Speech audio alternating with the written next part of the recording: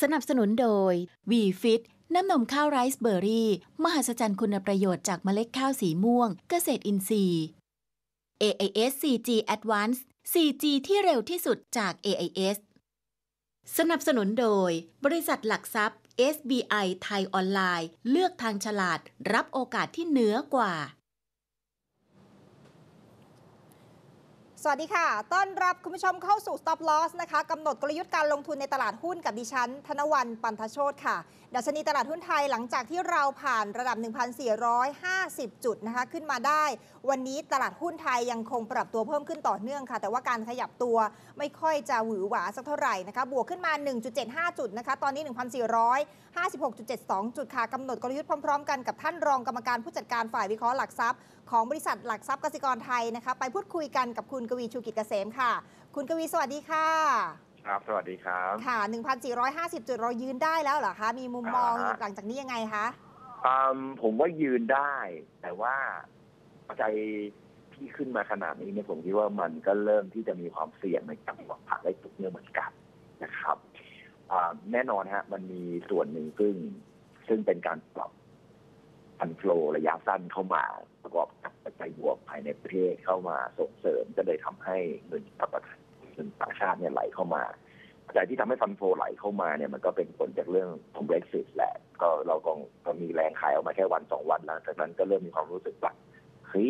ผลกระทบเนี้มันคงไม่กระทบกับเอเชียมากนักหรอกซึ่งที่ผมคิดว่าหลาย ๆ ฝ่ายก็คงจะพูดไปทำนองเดียวกัน แล้วก็ยุโรปเองก็เริ่มดูรู้สึกว่าไม่น่าลงทุนถูกไหมครับ ราะฉะนั้นถ้ามันจะเกิดการไอ้กับโลเคชันก็คือโยกเงินจากยุโรปส่วนหนึ่งเพราะค่าเงินยุโรป หรือว่าค่าเงินบอลเนี่ยมันน่าจะปรับตัวอ่อนค่าลงในระยะกลางเนี่ยโยกมาในเอเชียที่น่าจะมีค่าเงินที่แข็งกว่าค่าเงินในยุโรปนะครับอ่มันก็เม็ดเงินตรงนี้มันก็ไหลเข้ามานั่นคือประเด็นที่หนึ่งครับ ซึ่งการไหลเข้ามาตรงนี้มันเป็นเพียงการปรับ asset allocation ไม่ได้ไม่ได้เป็นการปรับ ว่าเศรษฐกิจโลกจะดีขึ้นต้องยอมรับนิดนึงนะครับ ว่าเศรษฐกิจโลกโดยภาพรวมและมี Brexit เศรษฐกิจโลกโดยภาพรวมจะต้องถูกปรับลงนะฮะค่ะการขยายตัวจะต้องถูกปรับลงเพราะฉะนั้นตรงนี้มันคือ asset allocation ที่เงินจากที่หนึ่งมันไหลเข้ามาอีกบ่อหนึ่งแค่นั้นเองค่ะนะครับแล้วพอมันหยุดไหลมันก็จะมีแรงส่งต่อเนี่ยน้อยลงนะครับ ซึ่งณวันนี้ผมคิดว่าแรงส่งต่อนั้นมันก็จะเริ่มน้อยลงแต่เงินที่เข้ามาตรงเนี้ยเผอิญประกอบกับเศรษฐกิจไทยมันดีขึ้นจริง ๆ ตัวเลขเศรษฐกิจเดือนพฤษภาคมก็ออกมาค่อนข้างดี มันก็เลยทำให้ได้รับอันนี้ส่งส์เม็ดเงินต่างประเทศเข้ามาประกอบกับแรงเก็งกำไรในประเทศด้วยกับเรื่องผลประกอบการบ้างเรื่องของตัวเลขเศรษฐกิจกลุ่มนั้นกลุ่มนี้ดีบ้าง แล้วก็สังเกตให้ดีว่าก็เน้นไปที่หุ้นในกลุ่มที่เกี่ยวข้องกับการบริโภคในประเทศเป็นหลักนะครับค่ะอ่าซึ่งอันเนี้ยมันก็เลยทำให้หุ้นกลุ่มการบริโภคในประเทศเนี้ยปรับขึ้นมา แล้วก็สามารถทะลุ1450ขึ้นไปได้ แต่ผมคิดว่าแนวต้านประมาณสัก1470 1480ผมคิดว่าน่าจะเป็นแนวต้านที่ เราต้องระมัดระวังนะว่าอาจจะมีการปรับฐานระยะสั้นขอเน้นว่าจะเป็นเพียงการปรับฐานระยะสั้น ถามว่าจะหลุด1450ลงมาใหม่ไหมผมคิดว่ามีโอกาสมีโอกาสแต่นะถามคะว่าจะหลุดพันสี่ไหมผมคิดว่าไม่น่าหลุดค่ะนะครับรอบนี้คิดว่าคือก่อนหน้านี้ที่เราคุยกันเนี่ยว่าหนึ่งสามแปดศูนย์เนี่ยเป็นแนวรับนะครับหนึ่งสามห้าศูนย์เนี่ยคือ worst case ที่ควรจะเกิดขึ้นไม่น่าเดือนนี้แล้วก็ลงมาให้ปรากฏว่ามันลงมาแถวประมาณสักพันสี่ต้นๆหรือว่าต่ำกว่าพันสี่นิดนึงก็ตรงนี้ก็ให้รับ ดีจริงๆซึ่งเป็นแนวรับที่สวยงามมากค่ะวันเนี้ยแนวรับนี้ก็ยังอยู่นะครับ ว่ายังขึ้นมาแนวต้านที่หนึ่งสี่หกศูนย์หนึ่งสี่เจ็ดศูนย์จะเป็นแนวต้านขาขึ้นนะครับ แล้วก็ฐานลงมาเนี่ยพันสี่ก็จะกลายเป็นแนวรับที่ค่อนข้างแข็งยกตัวจากแนวรับเดิมที่หนึ่งสามแปดศูนย์หนึ่งสามเก้าศูนย์ขึ้นมาเพราะมันเป็นเทรนด์ขาขึ้น ผมคิดว่าแนวรับตรงนี้อยู่ เพราะเพราะว่าต่อให้มีแรงขายทั้งกำไรเกิดขึ้นเนี่ยปัจจัยในประเทศหรือตัวเลขเศรษฐกิจในประเทศเนี่ยยังคงแข็งแกร่งค่ะแสดเดี๋ยงวขึ้นว่าปีหลังเนี่ย เราจะได้ประโยชน์เรื่องของเรื่องของการทำธรรมติ แล้วก็เรื่องของการกระตุ้นเศรษฐกิจผ่านเรื่องของการประมูลของการขนาดใหญ่ด้วยนะครับค่ะแสดงว่า asset allocation ที่ไหลเข้ามาถ้าเทียบกับ valuation ของตลาดหุ้นไทย ถือว่าก็ยังไม่น่าจะกังวลอะไรใช่ไหมคะ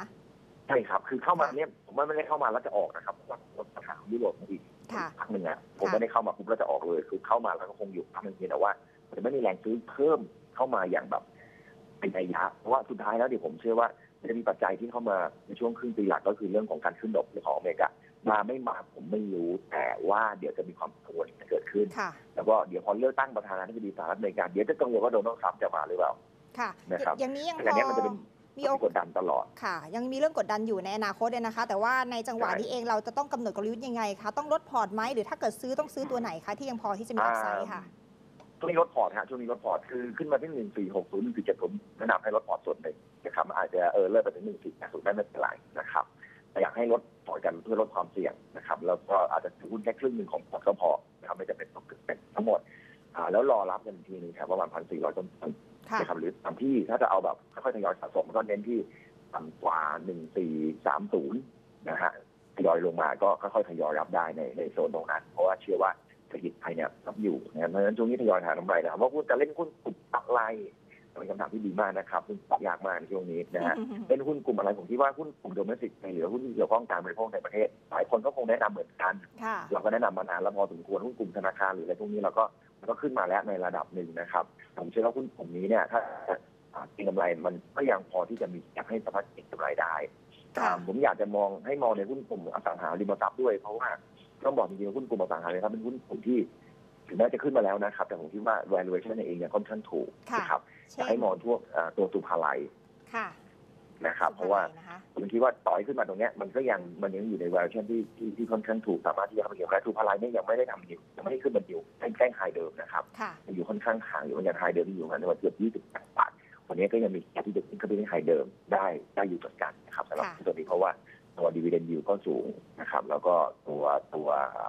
หลัก PE เองก็ค่อนข้างต่ำนะครับ ค่ะ ได้ค่ะ ขอบพระคุณมาก ๆ เลยนะคะครับผมสวัสยินดีครับค่ะ คุณครับกวีชูกิจเกษมจากบริษัทหลักทรัพย์กสิกรไทยสำหรับการกำหนดกลยุทธ์การลงทุนในตลาดหุ้นในเช้าวันอังคารนี้นะคะถ้าหากว่าดัชนีตลาดหุ้นไทยทะยานขึ้นไปนะคะ โอกาส 1,380 จุด ในกรณีที่ดีที่สุดเนี่ยก็เป็นจังหวะของการลดพอร์ตด้วย ถ้าเกิดขึ้นไป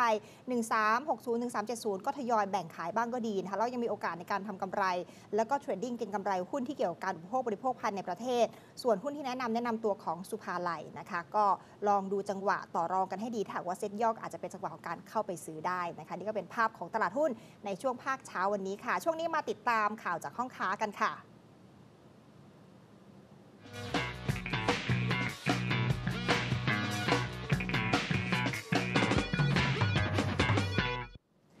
กลุ่มรับเหมาก่อสร้างเป็นกลุ่มที่ต้องจับตานะคะ เพราะว่าการลงทุนขนาดใหญ่ของรัฐบาล และก็ภาคเอกชนที่กำลังจะเกิดขึ้นในอนาคตนั้น ได้มีการถูกเล่นข่าวกันมาอย่างต่อเนื่อง แต่ว่าราคาหุ้นในกลุ่มรับเหมานั้นไม่ค่อยขยับตามเลยในช่วงหนึ่งปี ให้หลังที่ผ่านมานะคะ ล่าสุดมีความคืบหน้านะคะ อย่างบริษัทอิตาเลียนไทยเดเวล็อปเมนต์หรือว่า ITD นะคะมีการตั้งบริษัทย่อย 11 บริษัทในสิงคโปร์และเมียนมาเพื่อสนับสนุนการทำธุรกิจนะคะ ซึ่ง